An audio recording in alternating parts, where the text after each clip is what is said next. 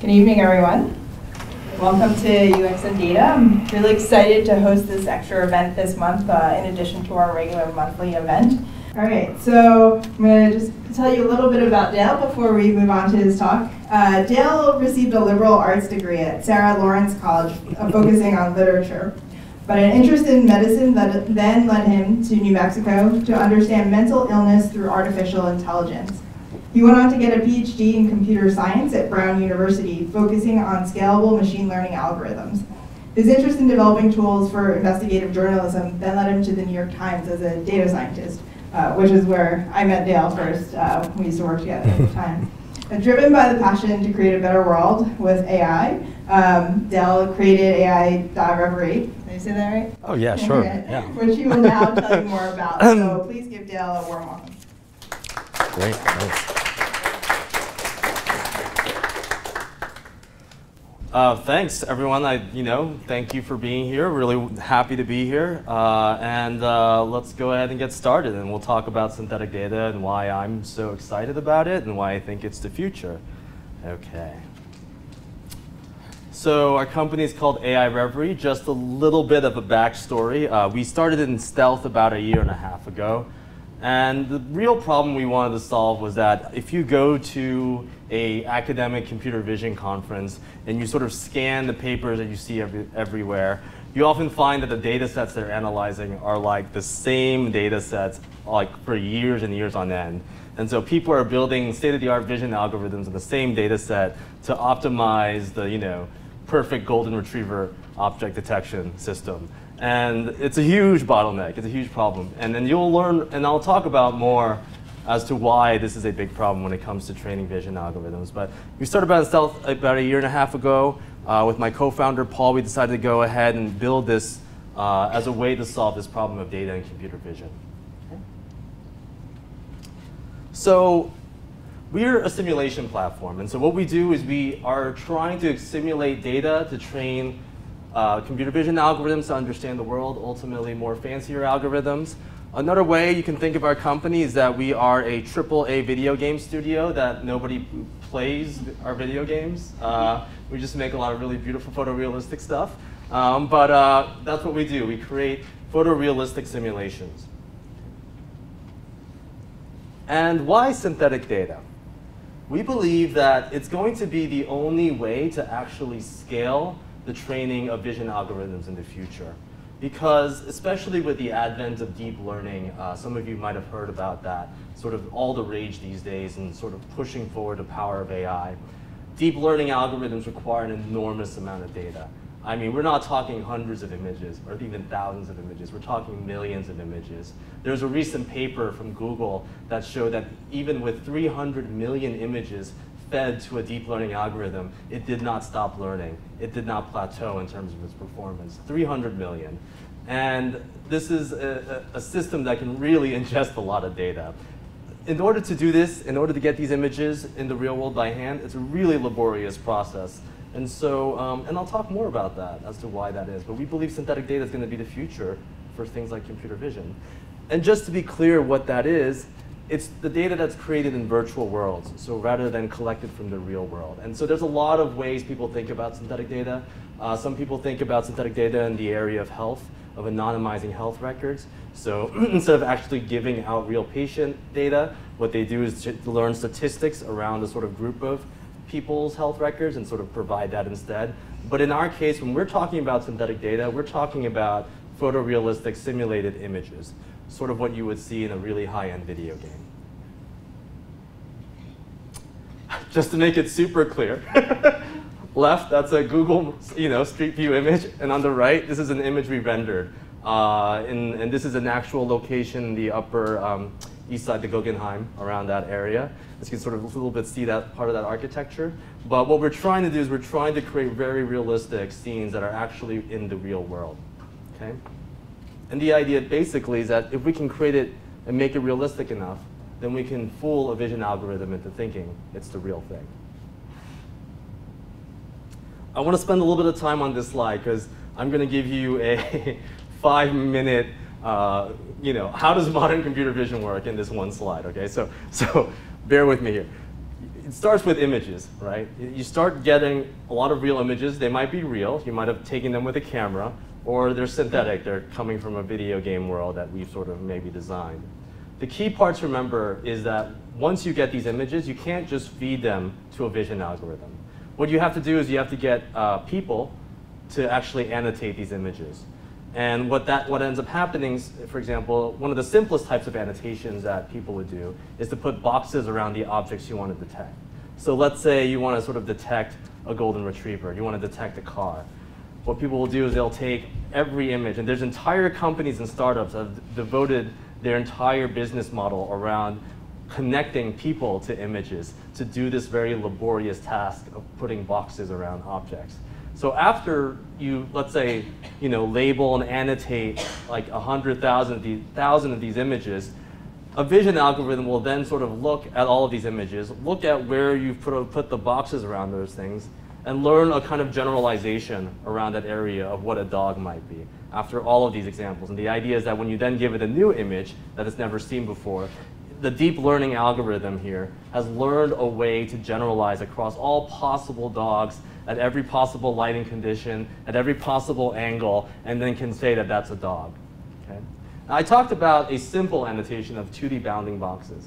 These things get even more sophisticated. So when you want, let's say, an algorithm to be able to detect the outlines of an object, to give you a perfect edge boundary sort of outline of where an object is, uh, then you have to sort of give it annotations that represent that. So kind of like a coloring book. You have an image, and you have to exactly color the exact area of where that object is. That, you can imagine, takes more time, right? Now imagine video. you want to start, uh, you know, understanding video and how to detect things in video. You can just, that problem just starts scaling and becomes, oh, there you go uh, it just starts getting more and more complicated, right? But that is how modern computer vision works, and this is what this is the pipeline of how you train a very sophisticated vision algorithm capable of doing all sorts of the amazing things that we see in, in sort of the news these days. So once you train it, you spend a lot of money collecting that data, you spend a lot of money annotating it, right? So for example, you know, uh, self-driving car companies will hire thousands of people, thousands of people full-time to just label data right, for, for their sort of vision algorithms. Once you spend all that money doing that, you then train it and then you put it on a device, let's say a camera, it can be a, a, you know, any kind of system that is capable of running the algorithm. Uh, edge devices like the AWS Deep Lens that came out recently, or just any camera on a car, something like that, right? So this is sort of an end-to-end -end kind of idea of how you start from images and all the way get to a vision algorithm that works in practice. And what we're trying to say is that because we create the data and we understand and we can actually generate it from the ground up, we have actually full access to this whole pipeline. Because it turns out that algorithms now are a dime a dozen. You can find them on GitHub and you can download them and get them anywhere. Training them, the hardware, GPUs, you can go on Amazon and train it all. But the hard part has always been data. That's always been the bottleneck. And that's what we're trying to solve with synthetic data. So if you're not convinced of the value of synthetic data, then everything else that I'm going to talk about doesn't really work. So I'm going to spend some time trying to convince you why synthetic data is super important. Okay, and there's four major themes I want to talk about. The first one is how do you scale the number of objects that your algorithm can classify and understand? So let's say you just want to create a dog detector. That's great. You spend your time building and tagging all these images to detect dogs. But now you want to detect between 20 or 30 different breeds of dogs, right? You then have to find all of those images with those dogs, and you also have to annotate that as well. Um, unconventional perspectives. So if you have a camera, that a lot of images that you find online are taken by people. And so there's biases there, right? And they're taken during the day often in certain locations. But let's say you have a camera now on the floor, right? And it has to work on the floor, and all of a sudden that perspective skews all the images. And you can't use normal images anymore to then be able to feed to the vision algorithm because then it's sort of going to bias it in the wrong ways. Right? Access to hard places. You know, there are places in the world where cameras don't like to be, or people don't like to be taking images of. So, you know, Antarctica, with one place, uh, conflict zones, another place. I'll talk more about that later, but it's, there are certain places where just cameras and image acquisition is just a difficult process. And of course, one of the big reasons that self-driving car companies are also getting into this business of simulation is of these rare scenarios and outlier events. It is hard to literally find you know, uh, for a car to see accidents, right? It's hard to get data around things like major traffic accidents. But when you're training a vision algorithm to be able to detect when an accident happens, you cannot take any chances, right? You do not want a self-driving car that does not know how to detect when there is an accident in front of you. So this is one of the major reasons also why simulation has become so popular. Um, scalable object detection, I like to sort of use this to really bring home the point. Uh, let's say you have, you have to create a blue whale detector, right? So blue whales are very hard to find in nature. They don't like to hang, they might not hang around while you're trying to take pictures of them. Uh, and so in those instances, maybe it might just be easier to have a 3D model that actually represents that and then pre-train your algorithm that way. You might also have situations where you need to be able to detect brands uh, as they come and new brands are created. And so Amazon Go or any kind of retail market right, will want to be able to detect new brands that come out. And in that case, you don't want to always have to be taking images of that. Uh, there's also things with missing people. So let's say you lost your child and you are really, really have no idea where your child is. And one thing you can do is you can actually maybe render your child's face, teach a vision algorithm what, what that child looks like, and then be able to then train it to then detect it in, in you know, from a surveillance camera in the mall somewhere. So being able to do that with synthetic data is a lot easier than just trying to collect real images and being able to then um, train it that way. Again, these are just examples of some unconventional perspectives. Uh, you have this sort of household robot. This is a perspective from, let's say, a, a vacuum, robot vacuum. Um, of course, you also have different perspectives from surveillance and traffic cameras at traffic intersections or even from a drone when you're flying all the way up from there. And so we've done our own sort of tests and found that some of the most popular data sets that you would train a vision algorithm, state of the art, best you know, segmentation object detection algorithm in the latest paper that came out. And it works great when you sort of are like on the ground looking at images of cars and things like that moving. But the moment you try to take a drone perspective, uh, it starts thinking it's, it's a cell phone or a suitcase. so it's literally that because it's been fed so many images of cars on the ground, and these data sets only contain those images, um, that it's really hard to uh, have it generalized. And we also, with, when we talk to clients, we found so many cases where they're, they just can't collect images easily in certain places. So, so like I said before, like the Arctic, you know, it's not easy to travel there. It's not easy to collect images. If you have to detect things or you have to use vision there, that's a problem. Underwater as well, certain types of you know underwater environments are really crucial to model. Uh, so, so, being able to do that is a lot easier in simulation. And of course, personal homes. Um, so any, any, the future of a smart home is going to require data around interiors. But most people, this is a data privacy issue. Most people do not want companies collecting images of you know, them inside their personal homes. So a lot of these companies have to think about simulation as a way to solve their vision problems. And of course, these rare scenarios. So if you have humanitarian disasters like floods, um, that doesn't happen very often, and you might need to have a vision algorithm work in a situation to rescue people who are drowning from a flood. Or there might be very sort of rare moments where you have damage to like a, a wind turbine, and then you have to be able to sort of capture that as soon as possible because we all know from like a little crack on your window glass and your car glass, that thing spreads. and that can be real damage there if you can't detect it. And of course, traffic accidents, huge, huge problem there. Um, being able to detect that is, uh, you don't want a self-driving car working 96% of the time. You kind of want it working 99.9% .9 of the time. And getting, and the big problem has always been getting to that last two, 3%. You know?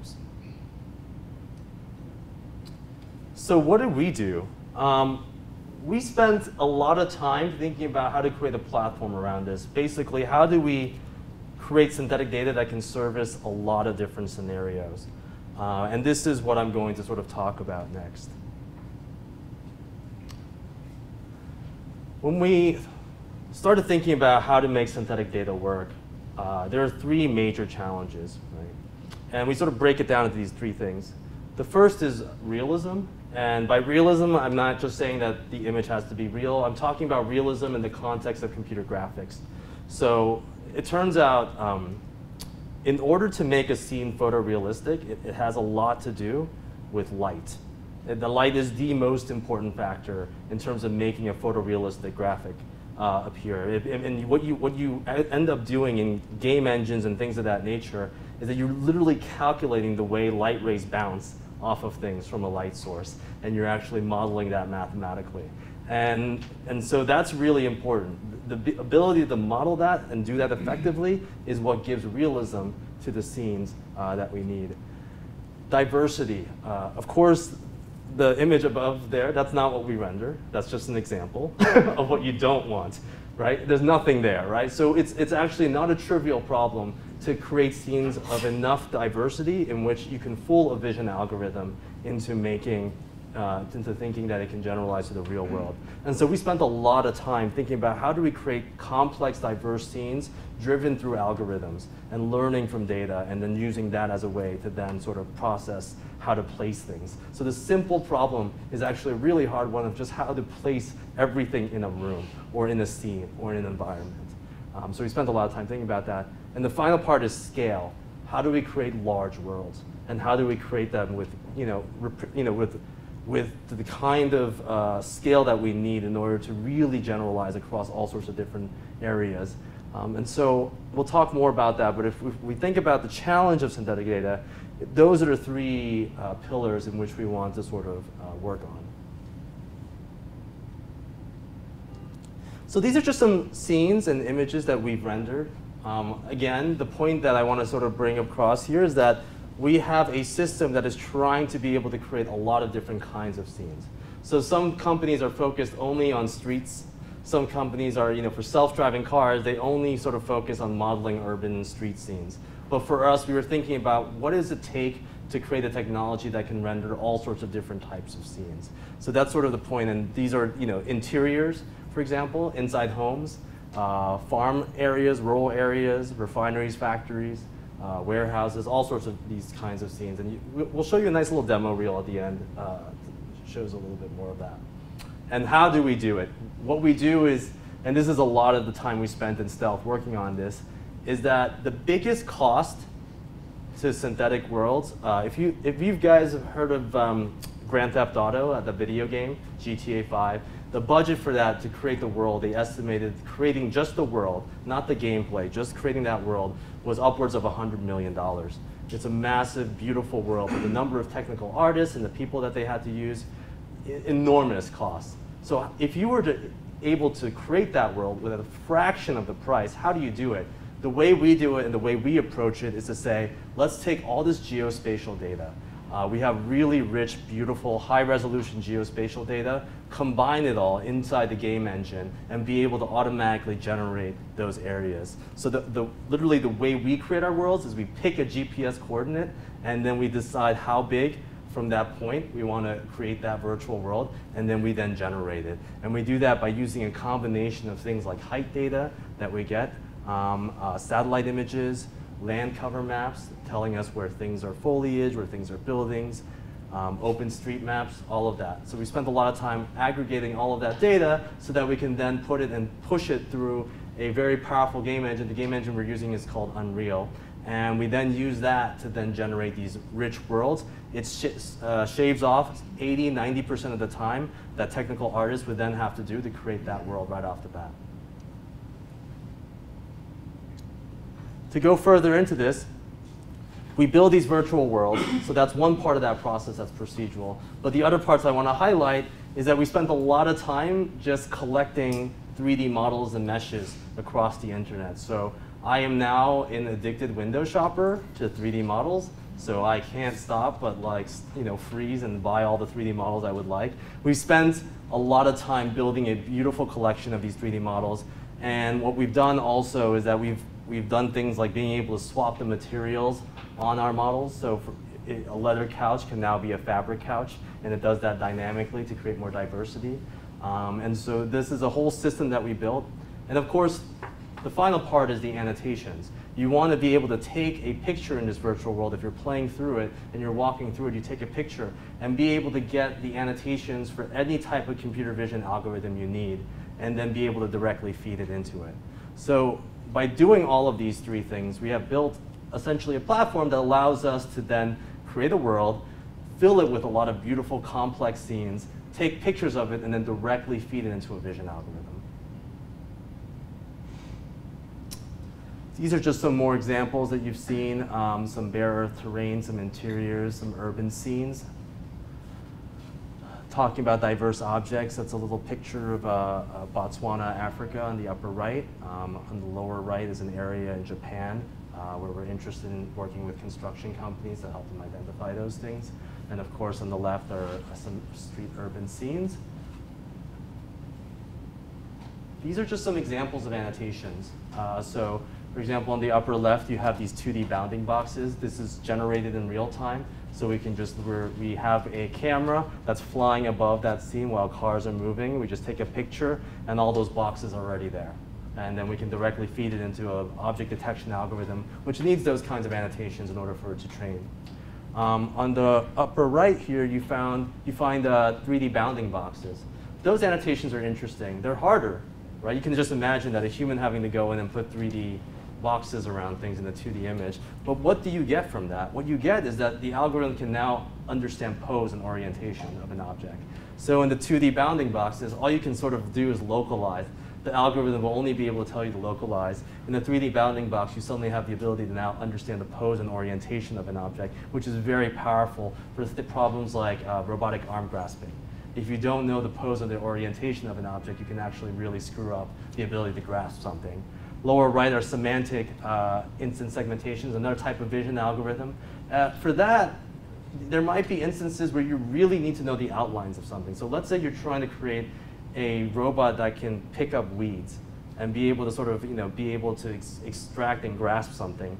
If just the bounding box isn't going to really be good enough. You have to know the outline of the plant itself. and so imagine trying to annotate that in the real world.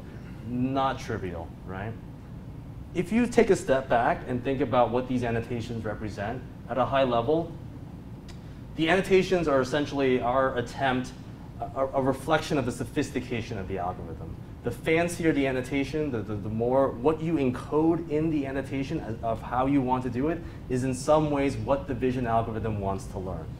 Right? So like the 3D bounding boxes as an annotation represents what you want to learn about the world, right? And so thinking from that angle, simulation becomes such an important part because what we want to learn, what we understand about the world, we can encode directly into it and then get back what we can then use in the real world.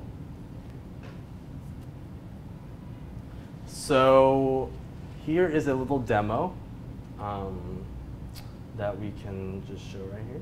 We'll just full screen this. It's a little quick little thing.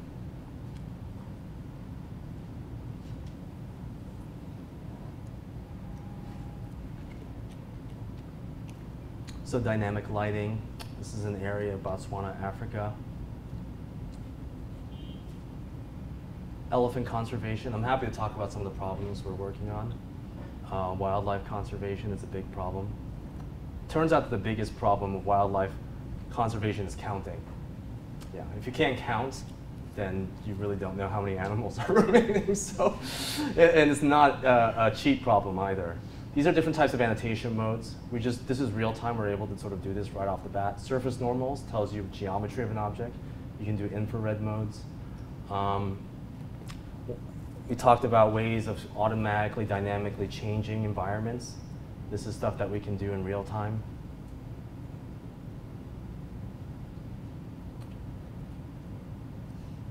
See these 2D bounding boxes?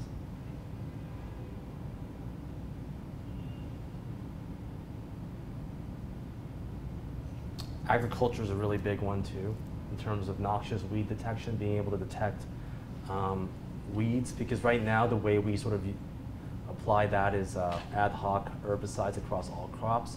Interiors for the smart homes, this is dynamically changing. Um,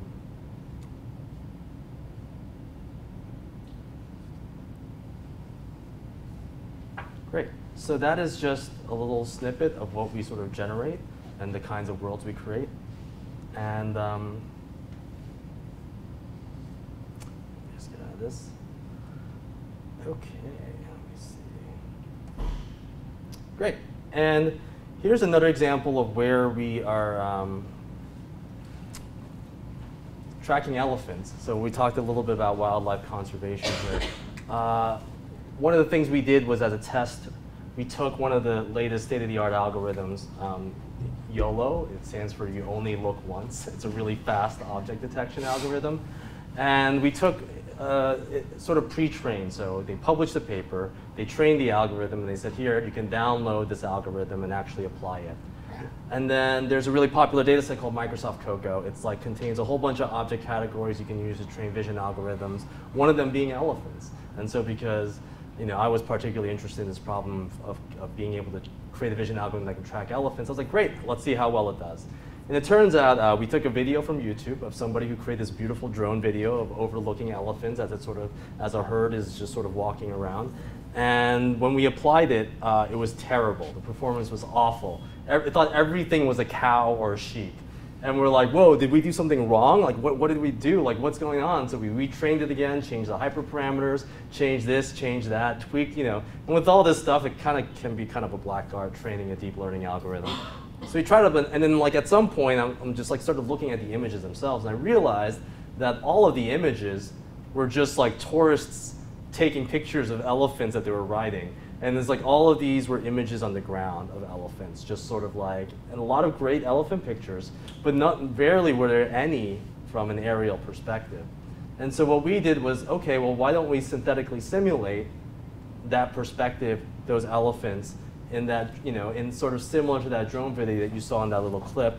And then when we trained it on that, the object detection algorithm was significantly better. And I'll just show you a, a quick clip of what that looks like. A side-by-side -side comparison. So on the left is the YOLO algorithm, on the right is the uh, algorithm after we gave it our data. And so it's hard to see, but the red boxes represent elephants there. And you can see that localization and everything in the left, cow, sheep, right? Those are the kinds of images that MS Coco on the, on the bottom there, you see, the kinds of images that you train it with. Herds of cows. Um, and those are the kinds of images that you typically see in the data set that people have spent a lot of time annotating. And it's the same data set everyone uses in computer vision and things like that. But so yeah, and generally this is a problem of data. This is a problem of not having the right data to be able to train in the kind of situation that this algorithm needs to work in. And the process, going back, it's a really laborious process. It prevents people from being able to create the applications they need in order to solve the important problems because the capital cost of creating this data is so enormous that there's some huge issues there. So.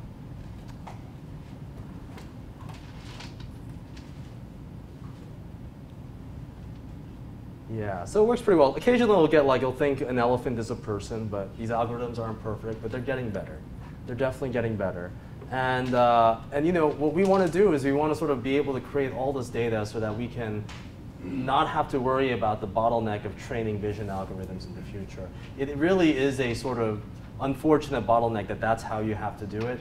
But until we can create pure general human AI, we're going to be stuck with this process of trying to use um, deep learning and these kinds of image data sets.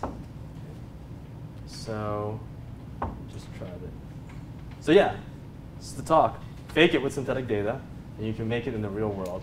Thanks to Anne, that's really great. I like that slogan. Uh, so, um, so this is, uh, yeah, this is what we do. And uh, oh, here are some other use cases. We can show a little clip of the uh, construction um, that we're sort of working on. Um, and some, there's some cool wind turbines in the back. So people are also interested in understanding uh, how to fix wind turbines if there's structural damage there. Uh, how do you identify, locate that? Um, I like how you can just do it right in the slide like That's pretty cool. Uh, and great. Great. So I think at this point, um, yeah, I mean, at this point, we're just sort of like you know, this is sort of what we have, and uh, at this point, we're happy to take questions. Or is that right, Kim? Is that yeah. is if that? If you have questions, wait for the mic.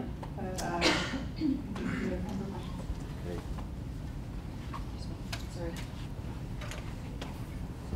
This is great. I mean, basically creating data metadata from the ground up.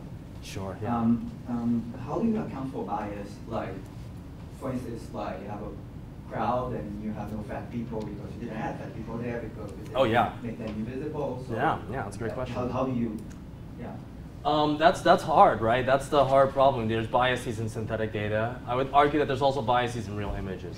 And I think the beautiful process is the one where you create synthetic data, you test it out in the real world, see where it fails, and then you then create the synthetic part that where it failed at. So in your example of certain, you know, fat people, like you said, you might then start creating people who look like that as part of your synthetic data set. And that's how our process works. Um, and so it's not going to be perfect the first time, of course. And this works a lot better when the environments are more constrained, right? Uh, so you can imagine because there's less diversity in what you have to model. But once you get that right and you go through this whole cycle, this process, it's just so much more efficient.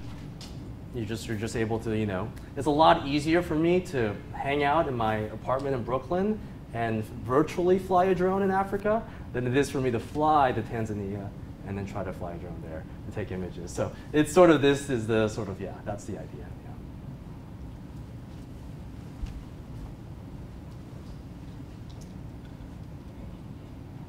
Yes, I was wondering when you guys generate these virtual worlds um, and you guys are doing, you know, object recognition, aren't you then beholden to all the flaws that are involved there? So then how do you basically make sure that those problems of, you know, bias in what you're seeing aren't actually then flowing into your synthetic data? That question. Yeah, I mean, so there's a lot of techniques you can use to mitigate for that, right? Because of course, like if synthetic was, um, well, would you agree with me though that if we get it to as good as real real data, then you get all the benefits of synthetic data, right? Beautiful stuff, right? Um, so the the ways to mitigate, people spend a lot of time doing research in that area, and so people have uh, worked on really interesting ways of combining the two. So it turns out if you combine real data and synthetic data while you're training the algorithm, it works wonderfully. And so some of the sort of noise in the real world gets transferred to synthetic and the same thing, you get the benefits of the scalability of synthetic data and diversity there. So it's kind of like mixing and hodgepodge. There's other advanced techniques like domain adaptation. Those are techniques where you use an algorithm to actually try to do image style transfer. If you've seen some of these cool examples of Van Gogh stylized, stylized images, you can imagine the same kind of process where you take real images and try to do that to synthetic images right? Try to make them more realistic, and then you then use that to train the vision algorithm. So there's a there's a rich sort of literature around that as well.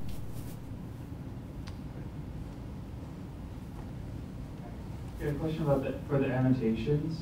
Um, were the images that you're showing us, are these just kind of conveying what the annotations are conveying, but then you're actually delivering the annotation to the models in some kind of side channel, or is it are they actually reading it from the, the oh. Yeah, so the annotations, like a lot of that metadata is stored in some file like a JSON or an XML file that gets read in with the image itself. So oftentimes for something like a 2D bounding box, you actually give it the raw image.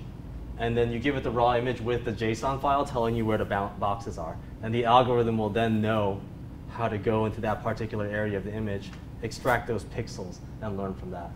Okay, yeah, thanks. Yeah, no problem. Um, thank you, it's very interesting.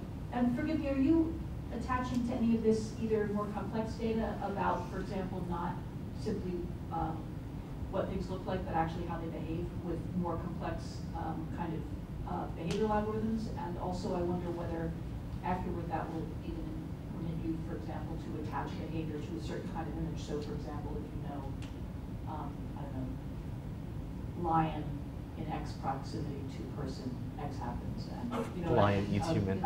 Right. right. Sure, sure. But you know what I mean. Um, so you're talking about complex behaviors. How do you yeah, account for that? Yeah. yeah, that's a great question. Um, you know, there is a rich sort of uh, ecosystem of animation and 3D models that are animated, like those elephants you saw moving around and walking around there. And it's a hard problem. It's not, you know, to get more and more complex animations. Uh, I look at that as a matter, there's multiple ways of going about it, but the, the, easiest way is to collect a lot of these animations and incorporate the 3D models that have all of that. And so they're actually walking around, being simulated, doing things, doing interesting things. So we do have a large library there. Um, in the future, I think those animations, what, what I'm seeing is they're going to be driven themselves by deep learning. And they themselves, you then learn how to actually create all these new blendable animations that can do interesting interpolate between all sorts of different types of animations to create even fancier ones. But for problems in which animation is crucial, uh, such as video activity, you kind of have to get that right. And so that's an area that, that you know, we are working on and focusing on. But you do have to think about that carefully. Yeah. At this stage, is that stuff, if you're not interested in sort of photorealism, is that stuff kind of already available? For example, if it were in 2D kind of form, um, the, the kind of attachment of, of behavior to certain kinds of forms? Um, if you're not interested in realism, photorealism? If it doesn't need to be 3D. Oh, if it doesn't need to be 2D, I I don't know. I mean, you can render things in 2D if you want, but the way we do it is we just try to create a video game almost that is as realistic as possible with the idea that the 2D images we take will be able to then sort of, you know, absorb all that and, and you know, there's enough complexity in the behavior itself that you get, uh, you can generalize to the real world.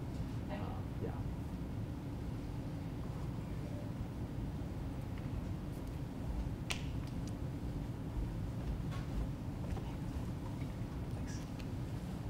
Um, so I'm just wondering how you deal with messiness. Like a lot of the um, homes you've shown are, are very clean and Yeah, you yeah. don't have socks strewn about or Right. I just I, I just didn't want to reflect my real life in the demo. That's all. Yeah.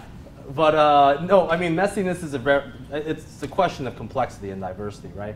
And so we actually have like clutter algorithms where we will randomly place clutter in things because that's actually what the real world looks like, right? So um, this is like a nice sort of pretty rendition of it, but when you look at the actual images, I mean, we're generating thousands of rooms extracting hundreds of thousands of images, you can't all have them look pretty and beautiful like that. So you're right. I mean, we do have to think carefully about how to create that kind of interesting sort of realism and clutter and things like that. But this is that gets sort of into the weeds. But yeah, that's a good point. Yeah, thanks.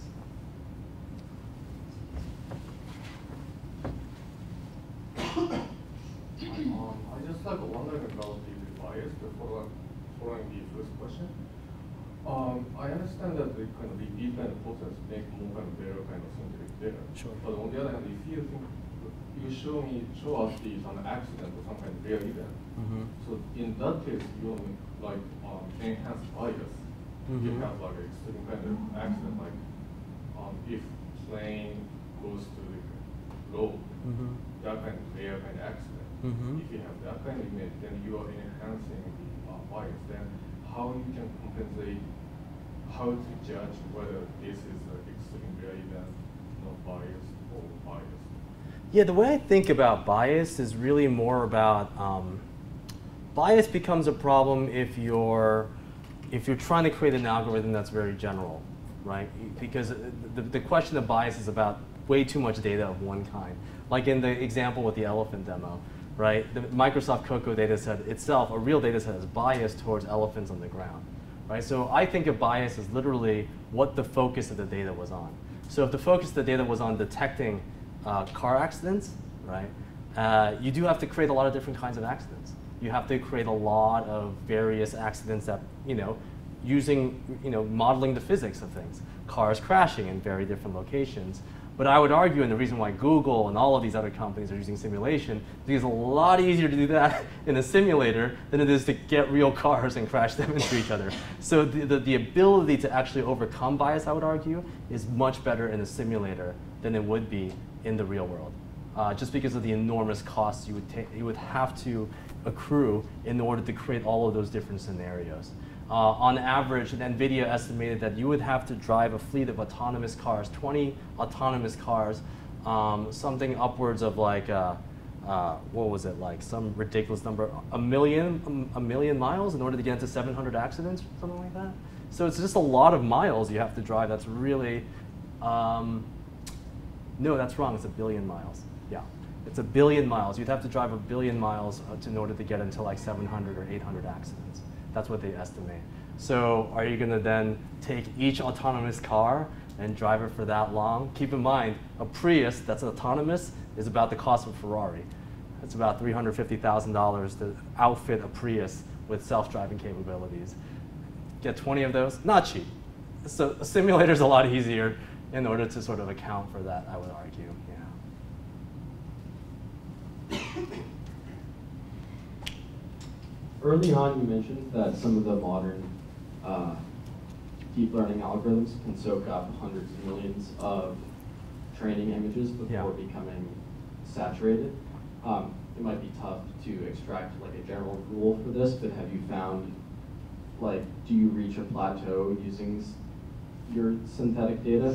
Oh, that's a, that's a question of also the algorithm. What is the algorithm capable? I mean, one of the, the reasons why deep learning has become so powerful. I mean, these ideas of deep learning algorithms have been around since the 60s and 70s, and it only took off in the last five or six years because what they found was that they can ingest a lot of data. What you found before deep learning was that it would actually plateau quite quickly. A lot of computer vision algorithms, the more data you fed it, it still didn't get better, right? So understanding that, it really then depends on what the deep learning algorithm is capable of doing. But because we've had this data, data bottleneck, we haven't been really able to see the limits of it. Um, and for our own experience, we found that we, you know, you could train, uh, depending on the type of data you give it. You can give it millions and millions of images; it'll still keep learning things. Uh, but again, it's a, a question of the algorithm itself, how how how complex it is. If it's a simple algorithm, it might not be able to ingest as much data. So you have to take that into account. And you also have to take into account what you're trying to do with the algorithm. It's, you know. So if you're just trying to create a dog detector, you might not need to give it 100 million images of dogs. Right? But if you're trying to understand the space of all possible accidents in the world, you know, it might be a much more uh, bigger data kind of need there. Hi. Um, uh, so I was wondering if, if this um, data can be applied to perhaps things that you we haven't seen or haven't mentioned, like um, pollution, plastic pollution in the water, or Mhm. medical uh, things in the medical field, like Yeah. navigating the human body, or um, uh, space ex- exploration. So I was just wondering if, if that's possible to kind of delve into those. Yeah, I mean, I would I would say a, way of thinking about it is if you were to have an eyeball look at something and you can extract interesting things from looking at an image as a human being, then there might be something you can do there in vision. To be specific about uh, areas of health and pollution, definitely. I mean, pollution, being able to detect bottles and trash in the water, very doable if you can sort of create that data, right? And it has to be able to detect it. For health, um, one of the things we've been looking at are, uh, it turns out that the biggest cause for hospital-based infections is hand washing. Just literally, people don't wash their hands. And so what hospitals have been doing is that they've been actually using cameras to monitor uh, anonymously it, how much of the hand sanitizer people have been using. And right now that process is manual. They literally have a person sample videos whenever a, a motion camera has been sort of activated to see if a person actually sanitized their hands. And they do this kind of group guilt thing where they're like, 80% of our doctors just passed us and you know they didn't do anything. Uh, but you can imagine how computer vision can be like, okay, we've detected this, we've counted this, we can create a statistic around it, and that's at the end of the day very powerful because then you can inform uh, the people who work at the hospital how poorly they're uh, how they're killing people. Sorry. So, with their with their uh, inability to wash their hands. It turns out that's that's the one of that's the biggest cause for hospital-based infections. Yeah. So I have a question about, um, what do you see people using um, when deciding between storing like a static data set versus just running the generator forever? And did, is it, like what kind of work did you do to um, minimize the number of images, but then get the most diverse set of like getting different angles each time and, and not outputting something that looks the same? Yeah, I mean, from that perspective, I mean, so the way we think about this is what is the, how in the real world is the vision algorithm going to work? So let's say we take the self-driving car example. We literally would simulate a car in that world and have that incorporate and ingest images that way. And so depending on how, like we first, when we work with a customer, we first figure out, is it gonna be, is it the camera attached to a traffic cam at an intersection? And at that point, your angle is fixed, right? And all we have to do is simulate that particular traffic intersection and sort of see there. But if it's a moving thing, we have to simulate that. So we actually literally simulate where the camera is gonna move and go, right, in that virtual world. And because we can create these worlds at scale, they can move a lot. And that's how we create that kind of diversity.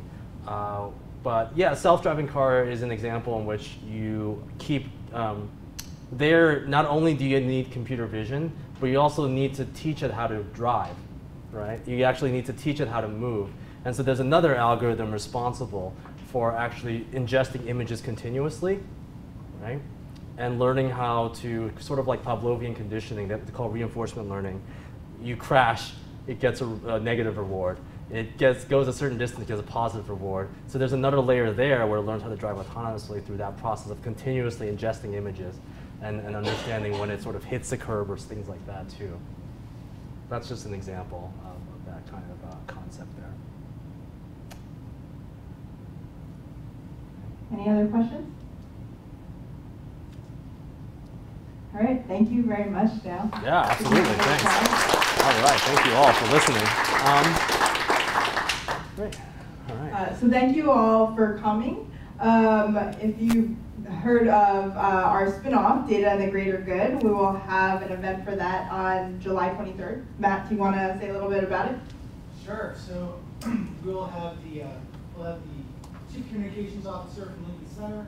We'll have uh, head of analytics from the Whitney uh, coming to speak, and we'll be at our And those tickets are available right now. and that's a Work-Bench. And the, the day after that, on July 24th, uh, UX and Data will also be a Work-Bench, and we'll have Sagar Mohi talking about visualizing data for user interfaces and sci-fi games.